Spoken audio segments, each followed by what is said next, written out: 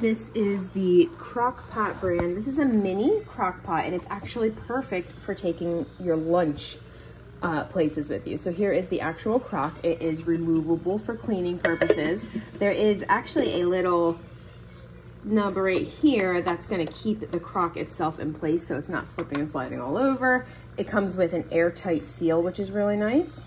So you can make sure everything is staying nice and secure in your crock pot. And then the lid, of course, will uh, go on very easily. This cord is fully removable and it actually wraps around and holds in place at the bottom, which is cool. And then it's just like a regular plug.